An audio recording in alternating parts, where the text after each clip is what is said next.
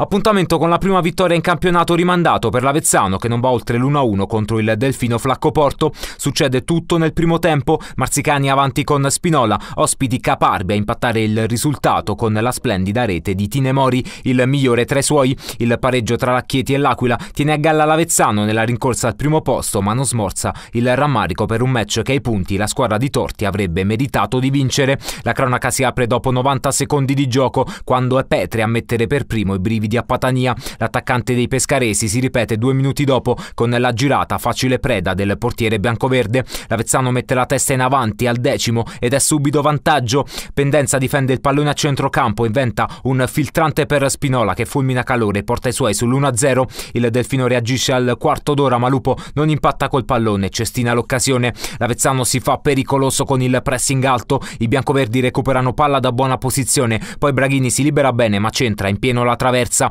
Il 4-2-3-1 disegnato da Torti non riesce a scardinare le linee del Delfino che in profondità trova pane per i suoi denti. Tinemori avanzato sulla destra diventa così un fattore e al 31esimo porta i suoi sull'1-1. Il 7 punta sulla fascia Castro, si porta palla sul sinistro e supera Patania sul primo palo. La replica biancoverde arriva da Piazzato e Castro colpisce il secondo legno di giornata. Nel finale di tempo, occasione per Pendenza che spara alto e non impensierisce calore. Sarà l'ultima giocata della partita per l'ex Cupello, costretto ai box box all'intervallo a causa di un risentimento muscolare. Al suo posto Vincenzi con Spinola al centro dell'attacco. La prima occasione della ripresa è dell'Avezzano, ancora con Braghini che va via a Tinemori, deviazione che manda il pallone sul fondo. Proteste ospiti al quarto d'ora per l'atterramento in area di Marzucco. Dure parole di mister Bonatti nel post partita all'indirizzo del direttore di gara Cavacini di Lanciano. Sul contropiede seguente, discesa di Spinola che spara alto da buona posizione, girandola di cambi da ambo le parti. Torti inserisce di Virgilio e Blanco per Rica e Braghini. Bonatti Donati replica con Dincecco per Gobbo,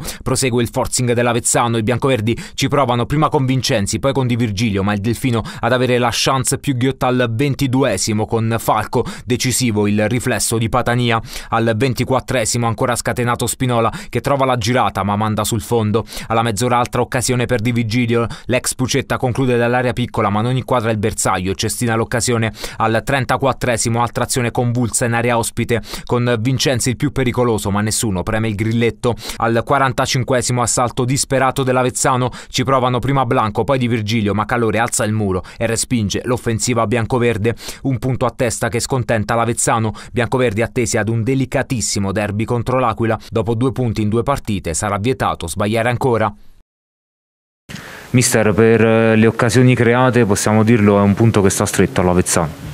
Eh, credo di sì, ma eh, sono un po' rammaricato perché i ragazzi hanno fatto il massimo, cioè nel senso che pali, traverse, occasioni create, poi è ovvio che se non la butti dentro poi alla fine rischi anche di perdere, no? Perché alla fine, non so, adesso non l'ho visto dalla panchina se il calcio di rigore fosse per loro.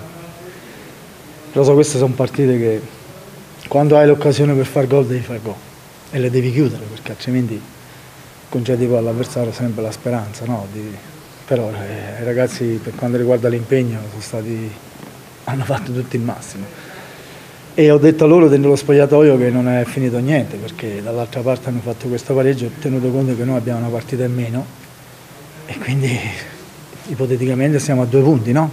la partita importante comincia a essere il derby di sabato ci prepariamo bene perché io sono convinto che questa squadra se la batterà alla pari con tutto. Adesso parlo perché mi dispiace e basta. Adesso lo dico perché fare il signore la prima partita non è bastato. Ho fatto qualcun accenno al secondo.